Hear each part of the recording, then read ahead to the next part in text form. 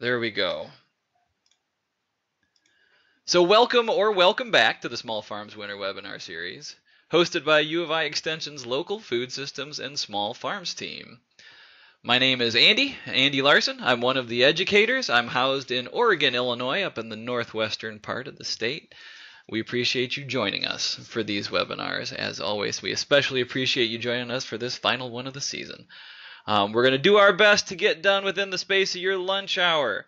Um, please uh, put in your questions in the chat box on the left hand side whenever you have them throughout the course of the presentation. I will direct them to our speaker um, or we will get to them at the end during the Q&A period. As I mentioned, this presentation is going to be recorded. I will email a link to the recorded version uh, on our YouTube channel just as soon as we get done and I can get that processed and uploaded. This week, we're going to be hearing from my colleague Nathan Johanning. Uh, Nathan is based out of Southern Illinois. Um, based out of Marion, Carbondale, Murphysboro, that whole area he's got covered. He's got various degrees in horticulture and plant path and experience as well teaching at Southern Illinois University. He works in specialty crops, he works in agronomic crops. Uh, he grows a bunch of his own pumpkins and studies his own cover cropping systems and he's just one heck of a nice guy with a, a, a, new kiddo at home, so we appreciate him being here today to talk with us. We're going to be talking about soil management for high tunnels with Nathan Johanning. Nathan, take it away, sir. All right. Thank you very much, Andy. You bet. All right. Well, we will jump right in. So, in our high tunnel settings, why do we need to think about soil management?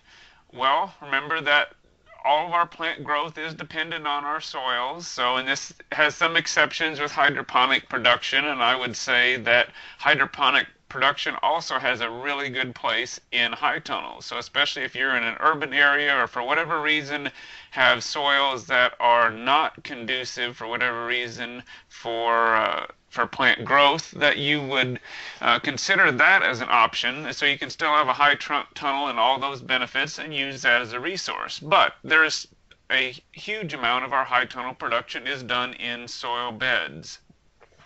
So we want to consider what we need to do to be good managers of our soil. So even though we ha do have a fair amount of control over things in the high tunnel, we still need to be mindful of the condition of our soils. So, you know, whenever I think about how soils are important to plant growth and beyond, I like this quote here, despite all of our accomplishments, we owe our entire existence to a six inch layer of topsoil and the fact that it rains. Now, in obviously in a high tunnel, we have a little more manipulation with the rainfall, but still it gives us a kind of a perspective of the importance of our soils. So, jumping specifically to a high tunnel. So, what are some soil considerations? Uh, obviously, looking at our nutrients. So, we want to always maintain the nutrient levels our crop needs. So, that's very important. One nuance to that can be the soluble salts in our soils due to the environment within a uh, high tunnel uh, and the limited rainfall. We'll talk a little more about that. Uh, looking at the organic matter of our soil and the structure. So, what can we do to amend soils? What about cover crops in our high tunnel? How can those help us? Uh, and then soil pest management. You know, weeds, diseases, insects, those are all problematic, some in greater or lesser extents in a high tunnel versus outside. But these are all things that we need to consider, some of which we can use some management techniques in the soil to help us with. So soil testing. I don't think any soils presentation in this case would be uh, would be good without having some mention of soil testing. So even in a high tunnel, we still need to test our soils just as we would out in the field. So remember, whenever you're pulling soil samples, uh, if you've been managing different beds or different areas of your high tunnel differently, then I would sample those differently, and especially until you have a, a a fertility history that would tell you that there, you know, that there's fairly consistent levels even despite some of those uh, other actions. So remember, different soils, uh, different amendments, fertilizer, fertigation history, those things can all change the fertility levels in your soil. So remember though that if uh, if you have a fertilized and established uh, high tunnel, very often over fertilization can be problematic. So, not always, but uh, we tend to, of course, want to maximize our plant growth through adequate uh, nutrient, uh, uh, providing adequate nutrients. So, in some cases, we can end up with excessive nutrient levels. Now, remember that uh, we can't have too much of a good thing. So nutrient uptake and imbalances can uh, occur whenever we have especially high phosphorus and potassium levels and other nutrients, but phosphorus and potassium are two that we commonly apply the most and sometimes see those those issues with. So, you know, we don't want to uh, over fertilize for those reasons. So, going back to just our basic soil test values depending on our crop. So, these are some ideal ranges for uh, your soil test results uh, for fruit and vegetable production. Uh, now, granted, we all know that there's some uh, some deviations for this for blueberries that need more acidic soils and things, but for general, for especially for annual vegetable production, uh, these ranges are are sufficient for good uh, crop growth. Now, whenever we start to get much above these ranges, uh, that's when we need to consider, you know, how do we need to manage our nutrient management plan for our high tunnel as we move forward. So first off, I would like to uh, in to give some recommendations for some resources if you're looking for uh, specific details on individual crops and uh, nutrient management. The Midwest Vegetable Production Guide does have a, a, discussion on soil fertility and, and how to interpret some of your soil test results. So uh, those are some, some good resources there, and their PDF of that can be found. And then also the uh, Kentucky Vegetable Production Guide has a really good uh, set of resources and some really good tables that specifically give you a soil test result and then they're followed up with the uh, specific nutrient ranges uh, that you should be applying given those soil test results. So those are two things that we use in field production and I would think that those uh, would be obviously perfectly applicable in a soil environment in a high tunnel as well. So just an example of those uh, Kentucky resources, you can see very straightforward soil test results listed, uh, especially for phosphorus and potassium.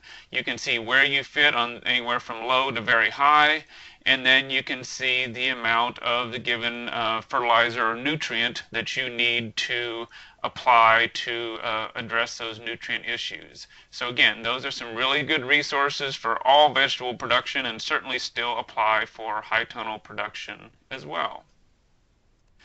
So excessive nutrient levels. Uh, I, this is something that can happen fairly uh, fairly easily for multiple reasons by no fault of any producer or any uh, thing of those sorts, but just due to the nature of some of the, the resources we have available, uh, these things do happen. Uh, what are some things that can cause that? Uh, to be thinking about well continued use of a fertilizer with a complete analysis. So that's a fertilizer that has you know uh, has something in as far as N, P, and K, so all three of those numbers will be something above zero. Uh, something that's very common is like triple 12, triple triple 13, and there's others, uh, they don't have to be in equal proportions, but some, some cases, say for triple 13, we're applying that, and a lot of times we especially are using that for the nitrogen contribution. It can be a very uh, efficient way to supply nitrogen. However, oftentimes our vegetable crops don't utilize that same equal amount of phosphorus and potassium as what they do nitrogen, even though we're giving it to them equally. So over the course of two, three, five, ten years of maybe using that fertilizer source, uh, and not having the balanced uptake and removal of those nutrients by our plants, you can start to get some things to to build up. So that's where some of this can uh, occur.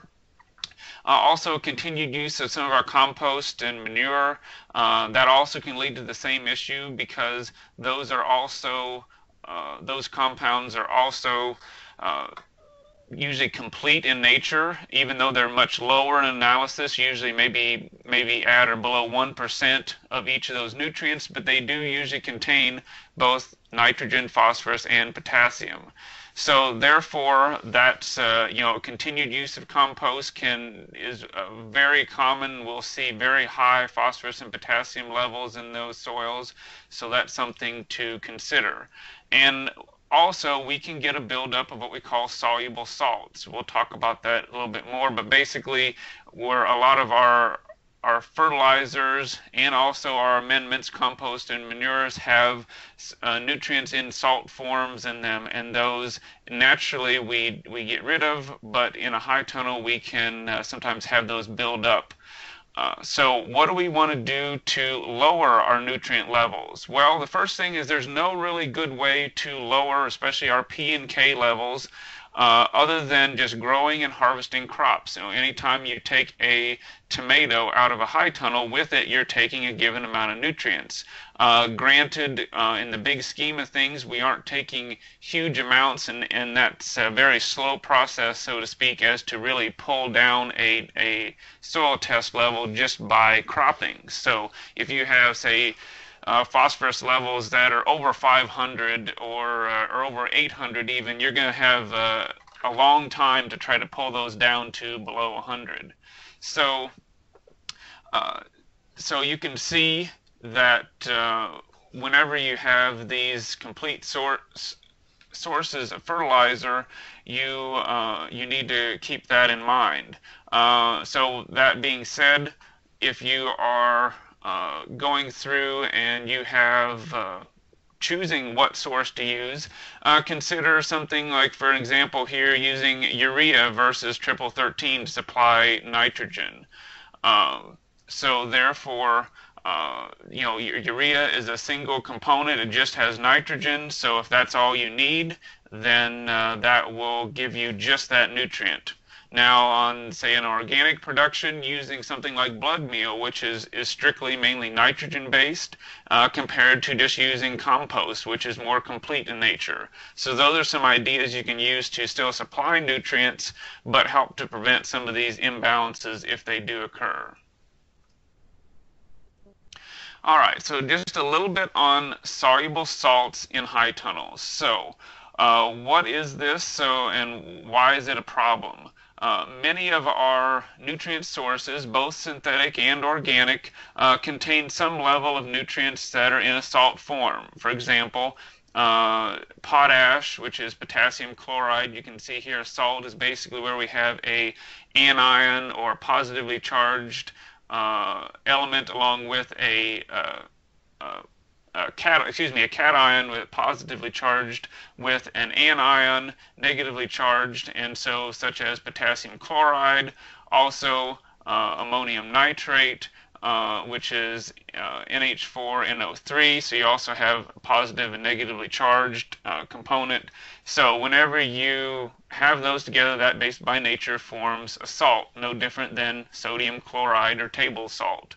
So the fact is that those salts will build up uh, in the soil, especially in a high tunnel, because we don't have rainfall, which would naturally leach those out of the field.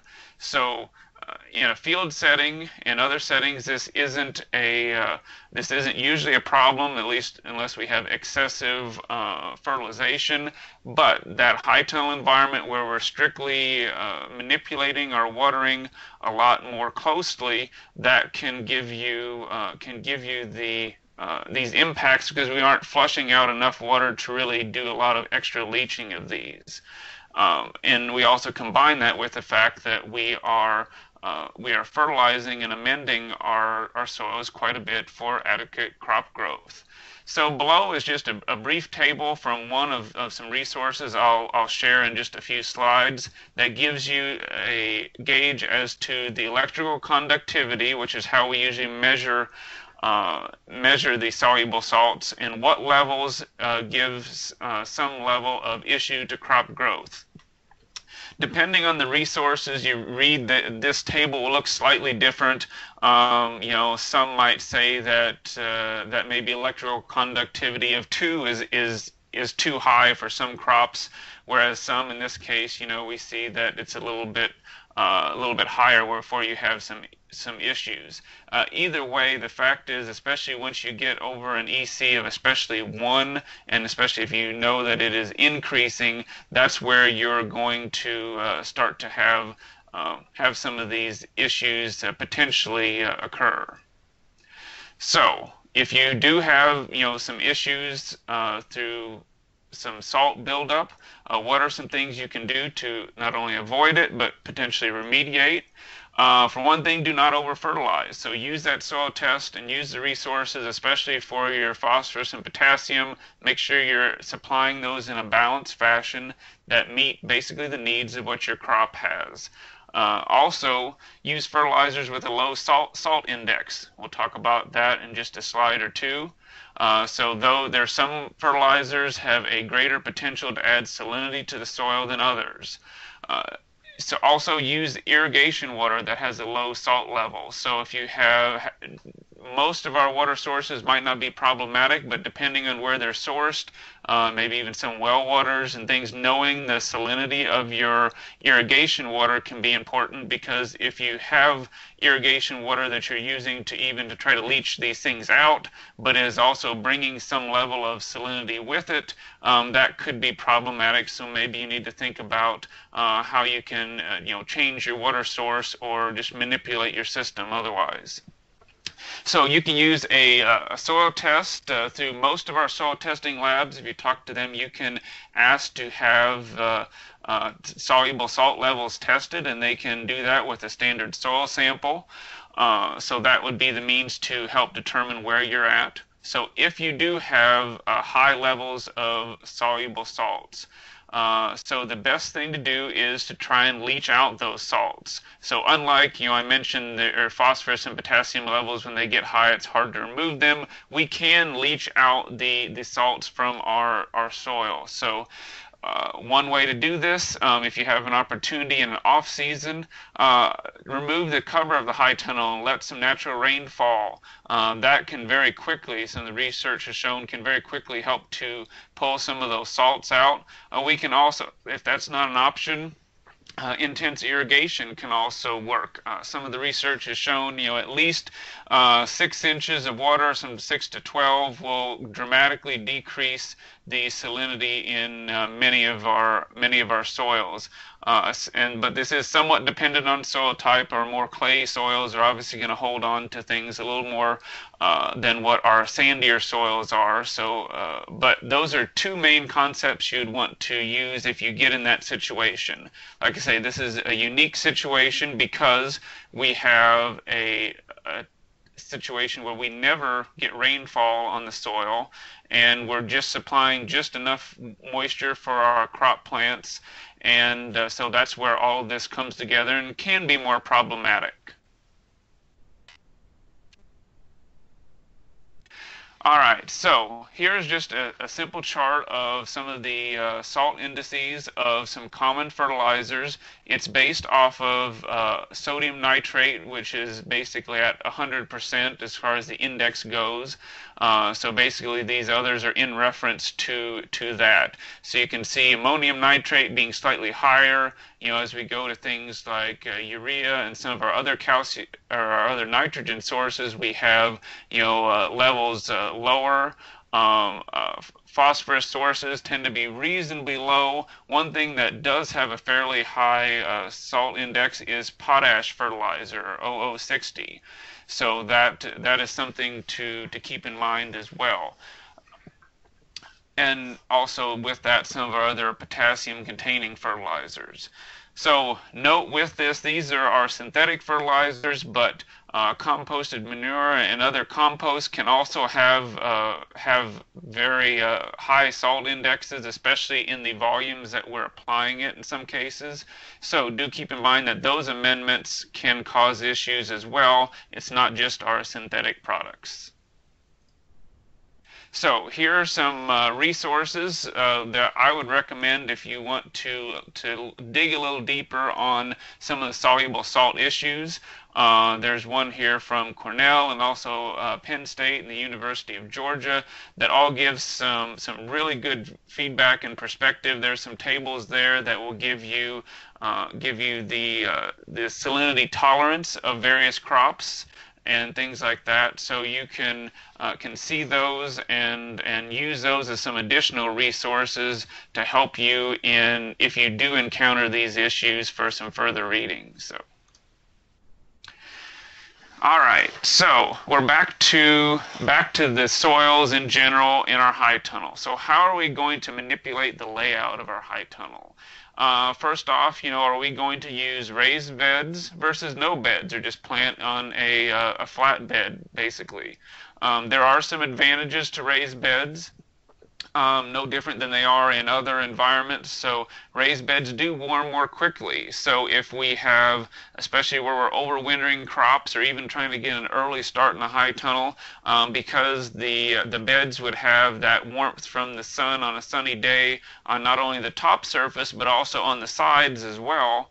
Uh, you can get more rapid heating of those uh, of those beds. The warmer the soil, especially for things like say tomatoes and peppers, uh, the more quickly their roots will grow and therefore you'll get them established and get more growth from there. So that is an advantage to raised beds. Obviously having a fixed raised bed does kind of define your uh, your bed space so it, it is a little more permanent. Takes you know if you want to change the arrangement or orientation of your uh, high tunnel beds then you know, it takes a little more work. Um, so this is pictured in a, a, research and demonstration high tunnel that I have here at, at my office and when we set up the beds. Uh, so you can do a framed bed of this or many other uh, ideas or designs or you can in some cases just uh, throw up a ridge as if you were using a plasticulture type system um, and cover that with plastic or in some cases not uh, not utilize plastic. And you could use that as a raised bed without a, a permanent frame. So those are all options. So whenever you're looking at now the soil that you're going to use uh, in the raised beds or in your high tunnel uh, you have some options, or you can use the native soil. Some of that might depend on where you're uh, where you're at, what your soil type is. Down here in southern Illinois, we're we're blessed with uh, reasonably high clay soils and also reasonably low organic matter soils. So maybe not uh, as ideal as what we would think of as our most ideal soil. Um, so therefore, maybe we want to add some amendments some options. Uh, obviously, compost, uh, composted manure, uh, whatever is uh, maybe available in your area, or some fertile topsoil. Maybe you have access to whether it be a uh, construction site or somewhere else that has has good fertile topsoil. Um, that would be another option that you might want to pursue. And again, this all depends on uh, what you have access to, your specific uh, environment conditions, and things like that. So those are those are some options to consider. Now, also, when you're thinking about some of these options, what comes to mind is we're thinking of organic matter in the soil, whether when we're incorporating things like compost and uh, and other amendments. So, what is again, as a refresher, that importance of organic matter? Um, so the nutrients uh, we can get from organic matter are also very important. As that organic matter releases, we are uh, getting especially nitrogen, phosphorus, and sulfur. Um, and also, organic matter uh, plays a role in the cation exchange capacity of our soil. So basically, it acts as a reservoir to help hold nutrients as well, kind of keep them in reserve, so to speak. Uh, it helps us with uh, water infiltration and drainage, and also water holding capacity. You know, anything we can do to uh, to help and um, improve the water holding capacity of our high tunnel soils. That gives our root mass for our crops um, more leeway. Say if maybe we don't get them watered quite on time or other things like that, it gives them some kind of a, a bank of moisture to to work with. Also, the aspects of soil tilth are very important. So, organic matter it uh, it binds to our clay particles in our soil, so it helps to prevent them from packing together, which then makes a looser soil. It makes less soil crusting, uh, improves the tilth of the soil, so it's much more loose and easy to till, and also supports good root growth. Uh, even though we're supplying water and nutrients readily, we still want our plants to have a good foundation, a good root system. Uh, these things are all essential for that. Also, uh, the soil crusting is really important. Sometimes we're going to want to grow a lot of our small seeds, things like lettuce, especially carrots. Uh, those are things that uh, uh have small seeds, some of our other greens as well. We're going to direct seed, and soil crusting can be really problematic for some of those seeds to germinate. So having a high organic matter soil where we have less chance of, of having some of that crusting can give us better stands, can get better germination and things like that. So here's an example. This is back uh, in the uh, in the high tunnel uh, that we have here. Just an example when we amended our beds, we did use some uh, composted manure to uh, amend our beds. Um, and you know, first thing we did have a pH issue in our native soil. So the white that you see is is just some lime that was spread just in general, uh, just for your uh, your reference. Uh, so what we did, in, and this is good in any raised bed, especially in a high tunnel, we had obviously a dramatic difference between what we were in, bringing in and what our native soil was. Uh, and what we don't want to do in any raised bed is form basically an artificial pot, so to speak. So we want to blend the native soil with the uh, the soil that we are amending with because we don't want to just take and add compost six inches deep and and have a below that have just a strict layer of clay. We want it to be blended so that way we don't our roots will be I guess in some ways maybe you could think tricked to continue to grow down if they have that abrupt change in in soil type and texture oftentimes our roots will become, if the water and nutrients uh, are provided, they get fairly lazy and they don't root deeper in the soil. And, and always, the deeper we can get our roots, the, the better crop growth we're going to have because we're exploring a greater soil volume. So how do we address that in this case? Whenever we uh, formed our beds, as you can see, you can see the uh, the spade sticking in the bed back there. Uh, we added about maybe half the level of compost, and then we spaded. Um, so we would spade this first. So in this case, we're trying to bring some of that native clay up and incorporate it with the uh, with the uh, the compost we're bringing in, and then so we went through and did that. And then in this case, we also would go through and till, and then we would add the additional compost. So we're blending that, trying to, as best we can, again, blend those soils uh, throughout the profile of that bed. so now we move from you know our amendments to looking at cover crops in the high tunnel. So, and we transition this by one of our main benefits is that cover crops do help us to build the organic matter in our soil.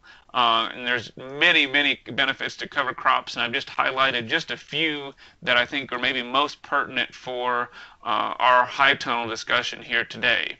Also, improvements in soil structure and crop uh, rooting zone.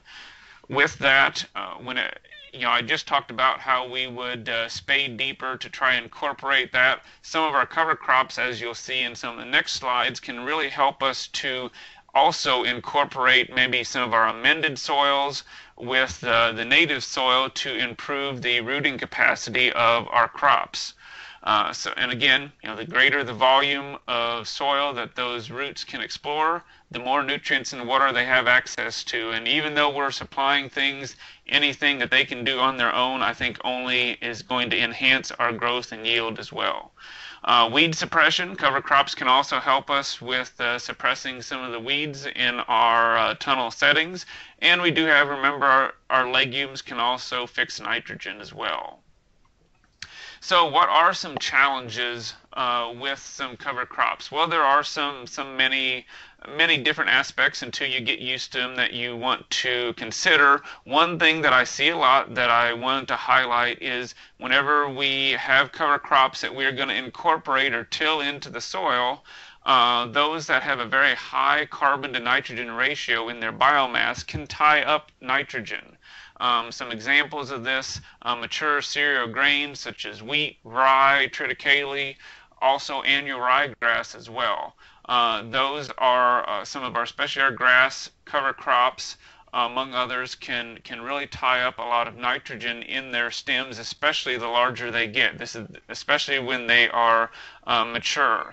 So if we're taking, say, cereal rye that's five feet tall, and we are tilling it into the soil of our bed, say we've we've mowed it, chopped it up, and then incorporating it directly, uh, you'll get an, an extreme tie-up of nitrogen. And in some cases, I've seen where you almost can't supply enough uh, synthetic or amended nutrients to overcome some of the deficiencies if you're planting a very nitrogen needy plant such as a tomato uh, even radishes and some of our greens, you can see uh, stunting and deficiencies. So you want to keep that in mind. Um, so some ideas.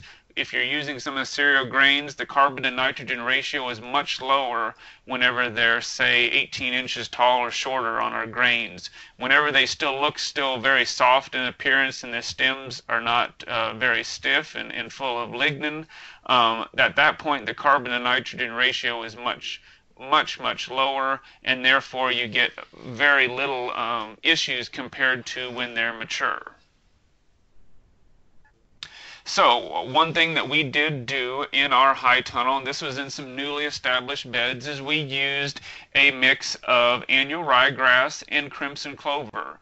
Uh, so one of the things that can be done, especially in the off season, is in our our high tunnel environment, we can actually establish cover crops at times that traditionally we wouldn't be thinking about uh, being able to establish a cover crop.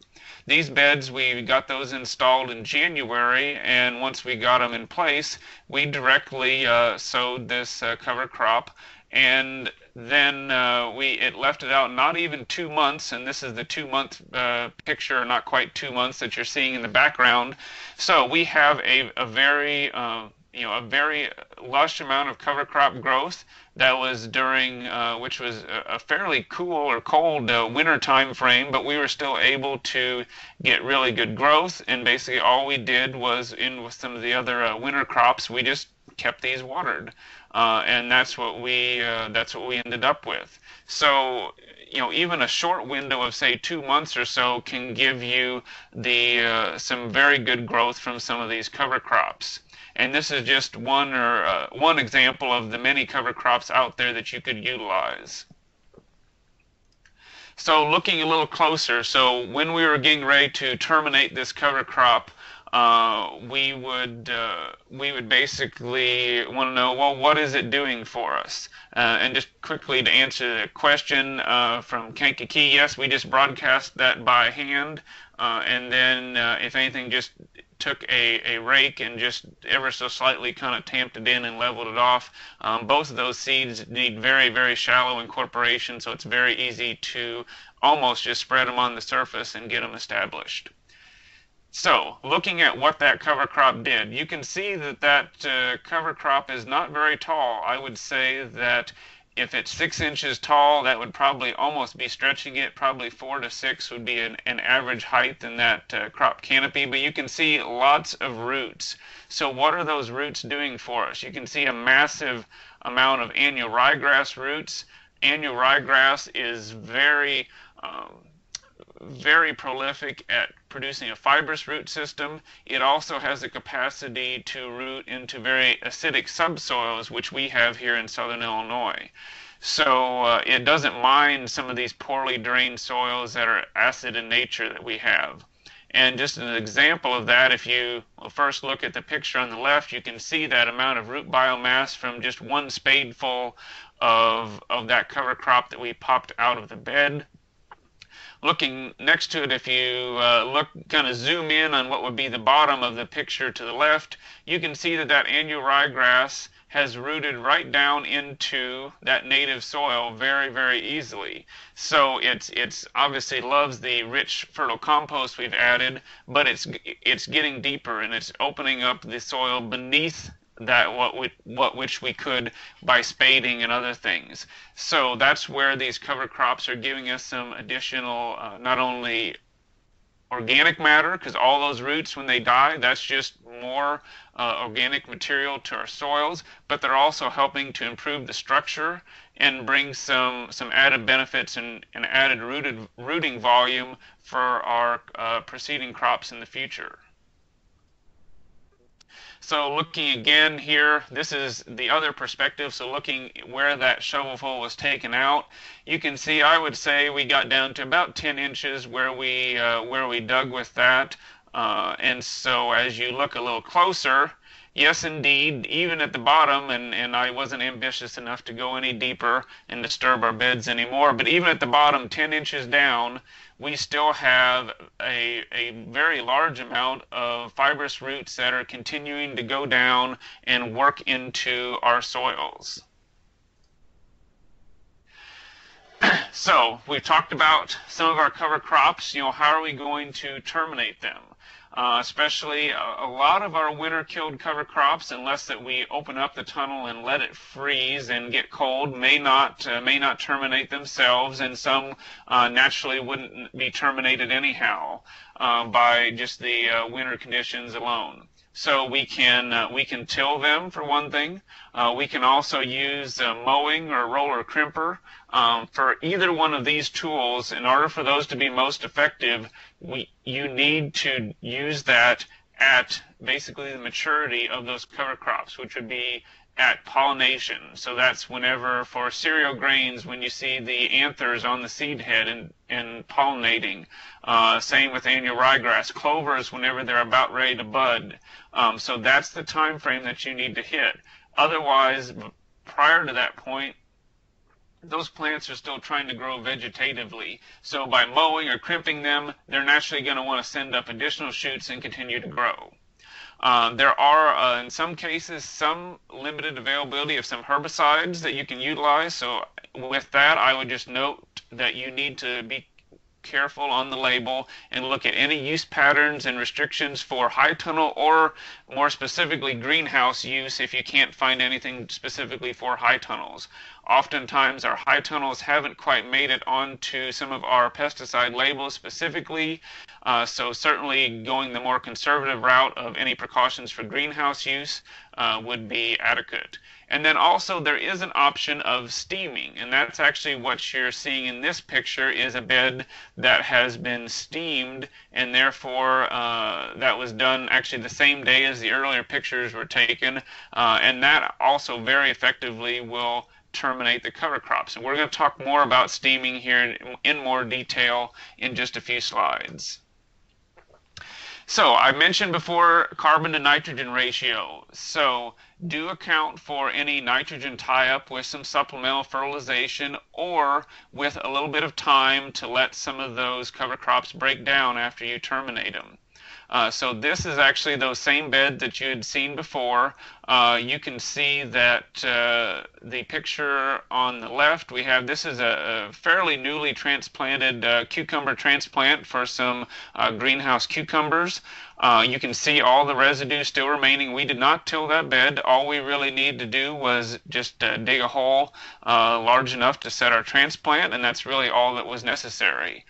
Um, so with that, you can see just in comparison between the picture on the left and the picture on the right, which was taken a little bit later, you can see our picture on the left, we're a little bit yellow in nature and we were stunted ever so slightly, some of which was probably a little bit of transplant shock, even though these were in a a four inch pot, which was fairly decent for the size that they were. Uh, all that root mass that you saw in these earlier photos has to break down. So therefore, it's going to take a little bit of extra uh, nitrogen for our microbes to get that done. So just in, in looking at that, you can see, uh, obviously we use some uh, a, a, dissolved liquid fertilizer Um, in this case, just we watered by hand. You can do the same thing with drip irrigation, and very easily our plants, you know, snapped out of that very quickly, as you can see on the picture on the right. But it is something just to keep in mind as you're working with any systems. Um, I think this is actually kind of a mild case, as I've seen conditions of the carbon nitrogen ratio issue causing much more dramatic uh, stunting than what happened in this scenario. But nevertheless, it's something to keep in mind. All right, so looking at soil pest management. So looking, there's all kinds of pests, just as we have out in the field, we can have in the tunnel in varying to varying degrees, weeds, insects, diseases, and oftentimes we tend to have a fairly limited crop rotation. Uh, so this can increase pest pressure over time. We know that there are certain crops that, that are very desirable to grow in a high tunnel, a lot of which from their ease of growing, but also their economics and return on investment. So we can very, be very tempted to continuously utilize those. Uh, tomatoes is, I think, a very common example that I encounter quite a bit. And tomatoes work great in a high tunnel. However, over time, we can get some pest buildup, especially in that case, disease buildup so looking uh, from there, what can we do in our high tunnels to basically uh, minimize some of these pest problems? Um, there are some pesticides, and there will be times, especially for uh, insects, um, that we are going to uh, that we are going to need to try and uh, use those pesticides to to manage them. We can have insect outbreaks, especially things like aphids, uh, white flies. Some cases, spider mites can be very problematic, and we do need to have some some product, whether it be uh, a synthetic or an OMRI approved product. There's uh, both available in many of our scenarios. Um, with the uh, with also the beds themselves, we can look at plastic mulch. Uh, we can use that for weed control, and also uh, as a sideline benefit, we do get added soil warming. So you can uh, can see in this picture here, you can see some of the beds that have been covered with black plastic. In this case, this is the same black plastic you would utilize uh, for plasticulture out in the field. It's simply laid over the beds. Usually use a staple gun in this case to affix it to a, a wood frame bed. It can also just be covered, the edges can be covered with soil as you would uh, in field production if you were doing this with uh, just ridged beds that don't have any specific form. And also we can use steaming, as I mentioned before, to help manage some of our pests. So you can see here, this is, in addition on this image, they're also steaming some of the beds. So that's another tool that is out there that's been researched that we can utilize. So what is soil steaming and what are we exactly talking about? Well, the goal of this is actually pasteurization of the soil. So this is very similar to the use of steam on some of our greenhouse media where we're trying to minimize our insects, uh, diseases, especially uh, seedling diseases in greenhouse media, and also any weed seeds that might be in uh, in that media.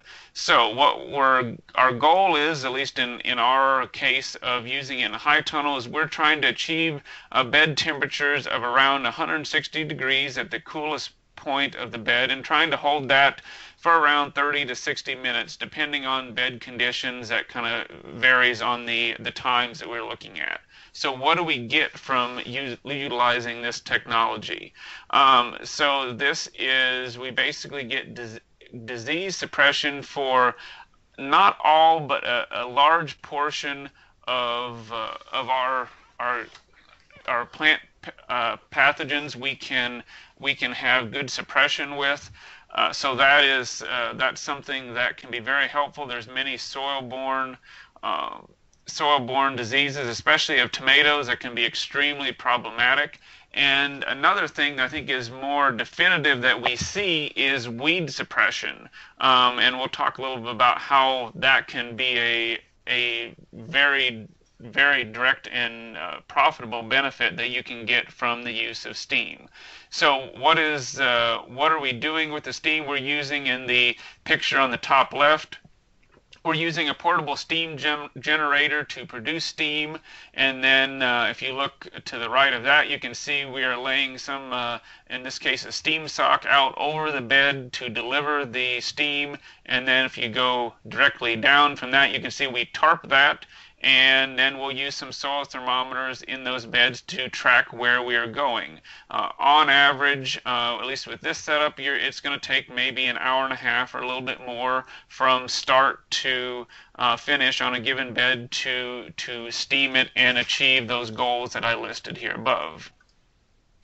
So, I mentioned this as technology, but it's really not new technology by any way, shape, or form. This has been around uh, really in the United States since the uh, late 1800s, commercially utilized. Uh, this is just one example uh, of where it's it was utilized in uh, in tobacco and other crops, which include some other vegetable crops.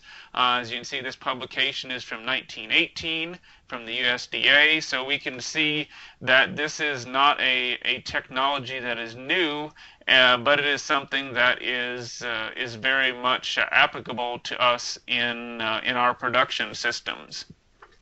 The nice thing about it is this is something that is kind of broad spectrum no matter whether you are more of a conventional grower or an organic grower. Steam is still, I think, a, a highly sought after uh, tool in trying to manage your uh, high tunnel operation. Uh, so that's just, uh, I say, one of the things that is, is very uh, important to note about it is that it does kind of cross uh, various spectrums of production. So what are we achieving here? You can see that we are looking at uh, trying to achieve a temperature of around 160 degrees Fahrenheit. So we're we're minimizing soil insects and most of our our plant pathogenic fungi, and we're also getting most of our weed seeds we find at this, and especially in the top layers. Now, as we get deeper in the soil, if we maybe work the soil, we can sometimes bring up some additional weed seeds, uh, but we are removing a lot of these uh, otherwise problematic pests from our production system, and especially in a high till environment where I would always call this prime real estate for producing crops. This has uh, a lot, uh, a lot of valuable uh, implications. So I would be uh, remiss to mention uh, anything regarding soil steaming and the research that's been done without uh, remembering Jeff Kindhart. He was a, a, former research associate that worked at our Dixon Springs Ag Center. Uh, we lost Jeff just last year. Uh, however, uh, Jeff was the one that was kind of the brainchild behind some of the recent research that was done in the high tunnel settings and was instrumental in in horticulture production overall, but especially in steaming, among many, many other things. Uh, so, uh, one quick question: Does this uh, does this kill beneficial microbial activity? Uh, that that is one thing that is somewhat of a downside because it is steam is somewhat broad spectrum. Uh, however, so we are minimizing that.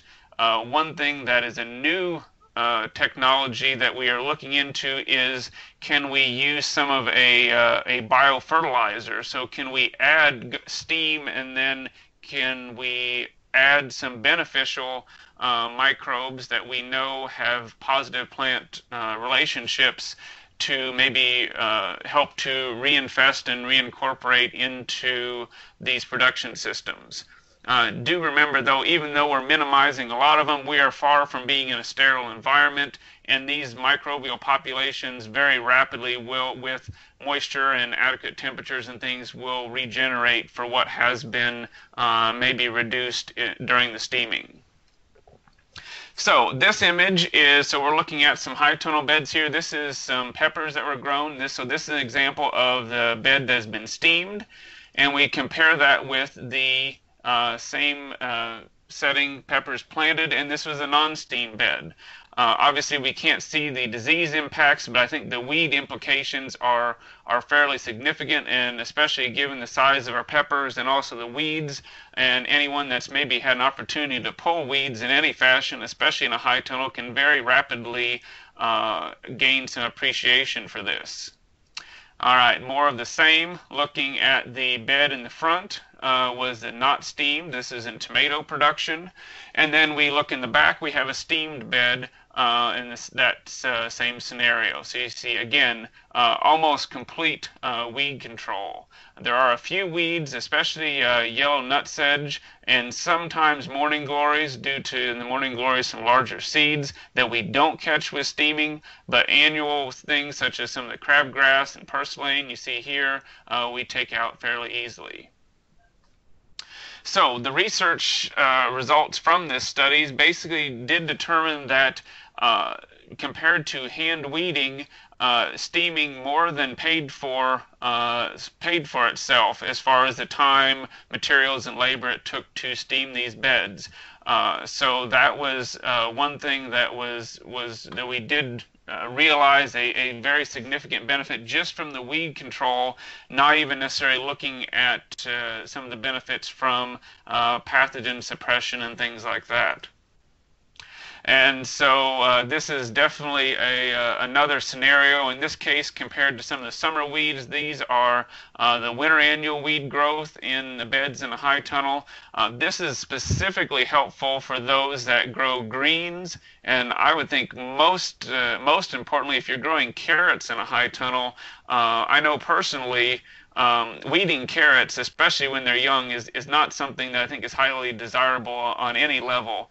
Uh, and so to think that you could have, uh, you know, virtually, uh, you know, 95 plus percent weed control, uh, especially on some of our direct seeded and very small plants, uh, I think is, is a big benefit. Uh, and we, we've utilized this with carrots in our high tunnel here, and, and with the steam, we've seen, you know, uh, fairly minimal weeding. The only thing sometimes you have is a few weed seeds that maybe happen to uh, to blow in. Um, some things like mare's tail and other wind-blown seeds, and those that are maybe persistent. But compared to the scenario you see uh, in this picture, that's uh, I don't mind pulling out maybe one or two weeds every foot in the bed compared to trying to wade through this.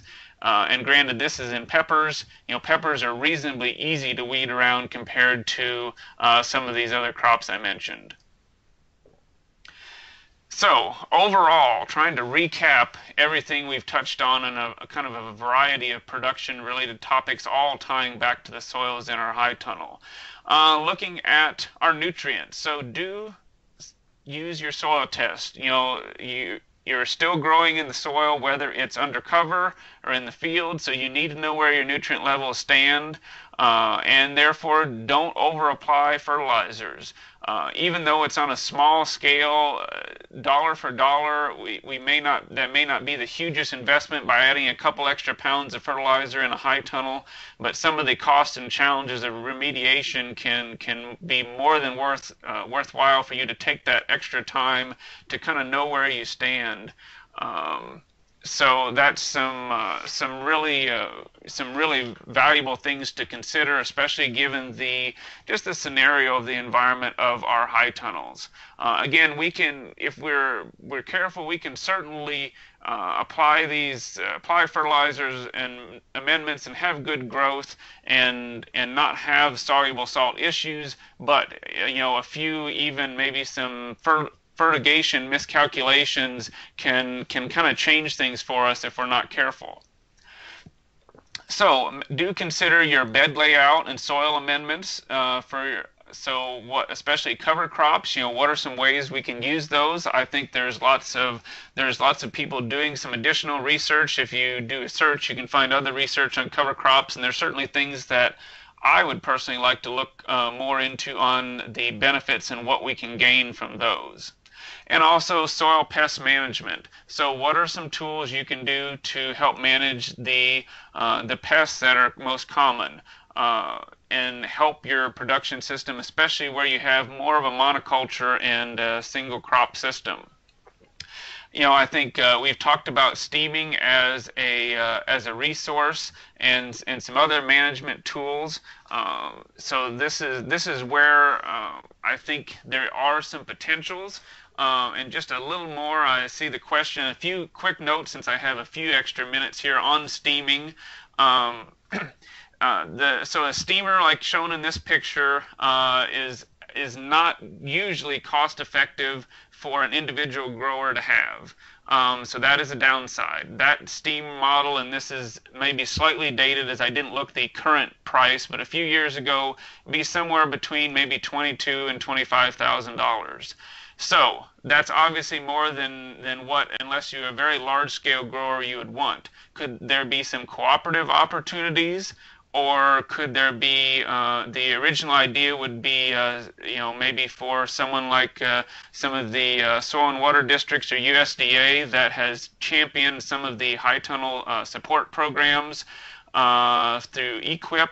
Um, with the uh, you know kind of the, the proven results of this could we get some of those organizations to have some to rent available? Because i don't know that typically you can find them uh, for uh, for rent as easily.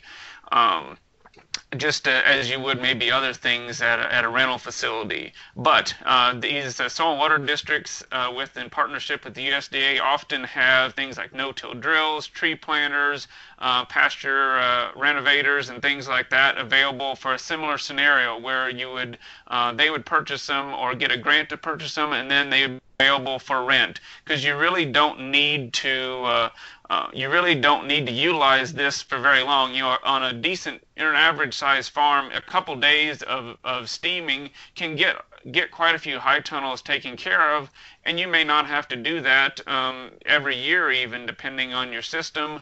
So you could go maybe two, three, maybe even more years and still re- realize some benefits. So, uh, so I think there's some potential there, uh, and Unfortunately, uh, I don't think we've officially gotten any buy-in on that. Um, uh, there have been some sometimes locally where we've done some demonstrations and other things on farm, but but I think that's something that um, that we would be happy to try to support if we could get some uh, willing ears into making those available, say in different portions of state or region. So, lastly, I want to uh, make a plug for uh, for the Illinois Fruit and Vegetable Newsletter, which is a commercial grower newsletter uh, to that uh, that is provided for uh, by University of Illinois Extension.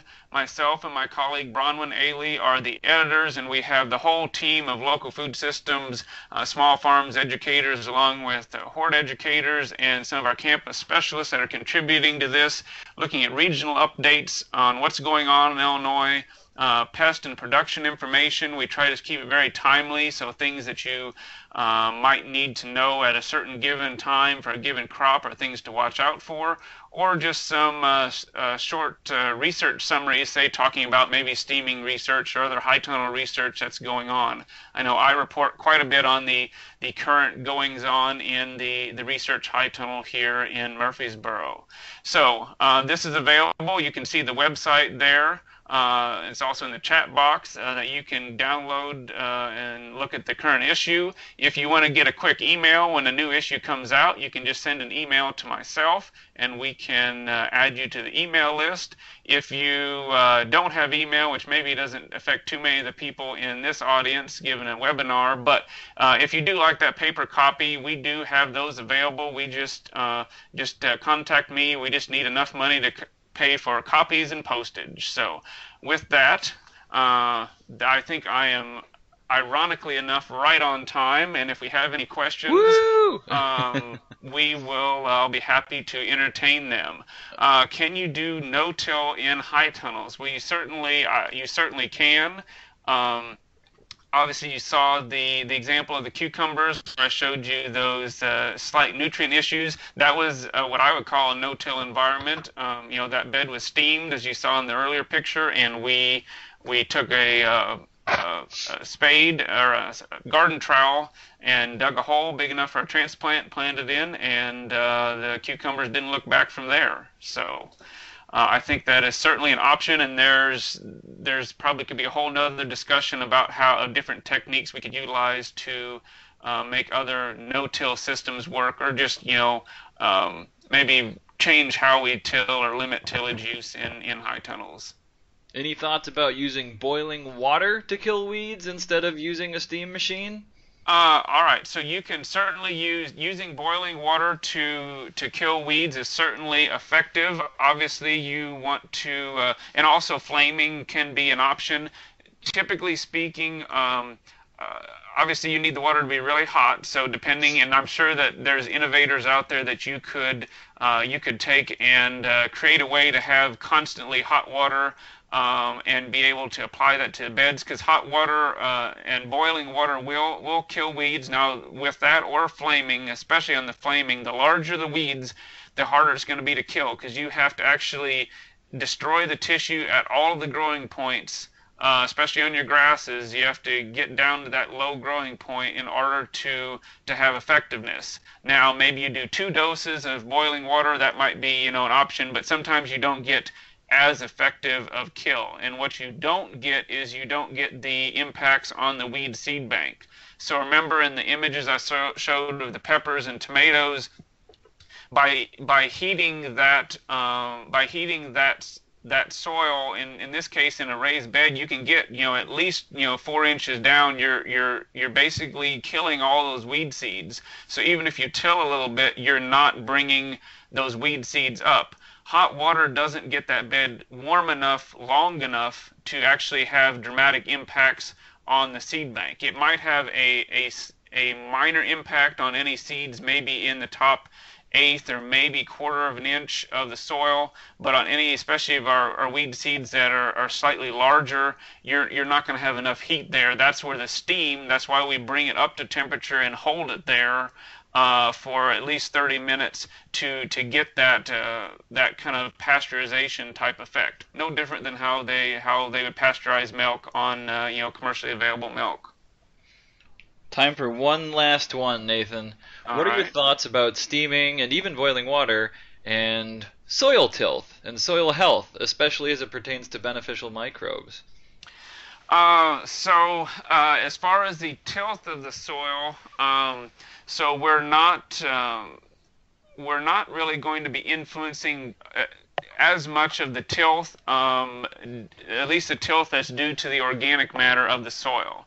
Now, not to get too deep into this, we do have some beneficial, uh, of course, beneficial fungi which aid in providing uh, good aggregate stability and things. So uh, our microbial life uh, yes, we are we are we are providing some impact to. Um, and and being a person who's done many soil health presentations, that's kind of the the downside in some of this. Uh, however, a lot of these populations, if given the chance, can can rebound. We actually have uh, some research going on on some biofertilizers with a bed that we steam to remove others, and then adding a, uh, a some beneficial bacteria to, that are known to help the plant nutrient and plant water relations, and trying to basically add those in to inoculate our soils with the good guys, and and try to use those as a benefit. Um, this all being said, if we look at the grand scheme of things, being that we're basically using water as our delivery tool compared to all the other products uh, whether it be synthetic or even um, uh, OMRI approved pesticides and other things, you know, I think how much more basic can we get than using water as a as basically a pest management tool. Right. So uh, I think the, the safety aspect from that as from that is and the, the other impacts, especially on weeds, I think has some some really good benefits. And I think with the new technology on biofertilizers and some of our amendments, I think we could overcome even some of those those issues. But it's a very valid point to consider. So. Well, I think we're going to have to leave it there, Nathan. Uh, many, many, many thanks to Nathan Johanning, our local food systems and small farms extension educator based out of Murphysboro, for a great presentation on his experience and expertise and the demonstration that he does down by his office. Again, I want to thank everyone for joining us for this webinar, this final webinar of the 2017 uh, Small Farms Winter Webinar Series. Hope you got some good actionable uh, information and intel from this. You're going to get an email from me shortly with a link to the archived webinar uh, that will be housed on our Illinois Local Foods YouTube channel. It, of course, will also have that tiny little short evaluation of the webinar that you just watched. If you could fill that out in the space of, you know, 30 to 60 seconds, we'd appreciate it. An awful lot. We use your feedback to shape our future webinars. With that, you guys, glad to have you here. We're done for the season. Look for some more webinar based educational programming uh, from our team over the course of this year. And uh, I wish you a very, very productive growing season in 2017. Have a great one, you all.